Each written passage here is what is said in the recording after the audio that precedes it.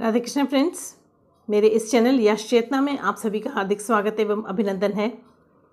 Friends, मेरे कल के वीडियो में मैंने आपको बताया था कि किस प्रकार जगन्नाथपुरी के मंदिर के, की स्थापना हुई थी।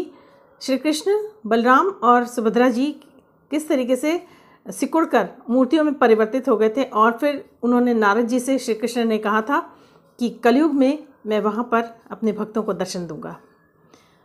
फ्रेंड्स विष्णु भगवान के चार धाम बने।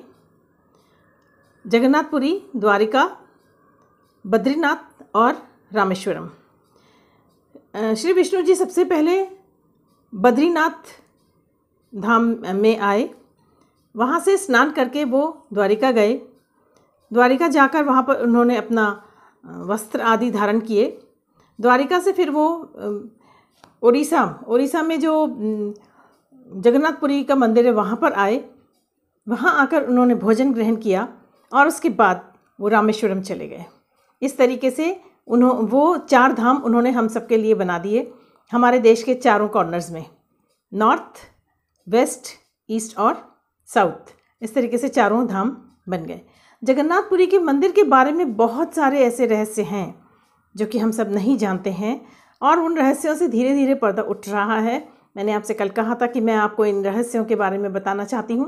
फ्रेंड्स, मैं यही रहस्य आपसे शेयर करना चाहती हूँ कि जगन्नाथपुरी में जो मंदिर है, उसमें जो मूर्तियाँ हैं, वो बारह साल में एक बार बदली जाती हैं। जब उन मूर्तियों को बदला जाता है, उस वक्त पूरे के पूरे शहर की लाइट्स को ऑफ़ कर दिया जाता है और ख़ासकर मंदिर के परिसर की और मंदिर की सारी की सारी लाइट्स को ऑफ़ कर दिया जाता है।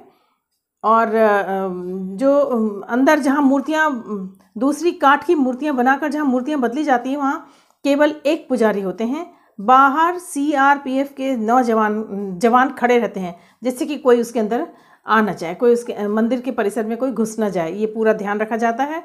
और जो पुजारी होते हैं, एक पुजारी, केवल एक पुजारी होते हैं, जो कि वो अंदर जाते हैं और उन मूर्तियों को बदलते हैं। पुरानी मूर्तियों को हटाकर नई मूर्तियाँ रखी जाती हैं।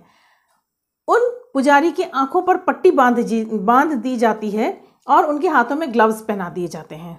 मतलब किसी भी तरीके से उनको ये पता नहीं लग पाता है कि मूर्तियाँ कैसे वो मूर्ति हटाकर और ये मूर्ति किस तरीके से रखी जा रही हैं। बिल्कुल अंधेरा घुप होता है। वो मूर्तियों में पूरी की पूरी काठ की मूर्ति को बदल दिया जाता है। बस, उसमें केवल एक ही चीज़ है जो नहीं बदली जाती है। वो है ब्रह्म ब्रह्म रूप जो मूर्तियों के अंदर जो ब्रह्म रूप होता है, उसको नहीं बदला जाता है। फ्रेंड्स अब ये ब्रह्म क्या है और क्यों नहीं बदला जाता है, इसके बारे में मैं आपको अपने नेक्स्ट वीडियो में बताऊँगी।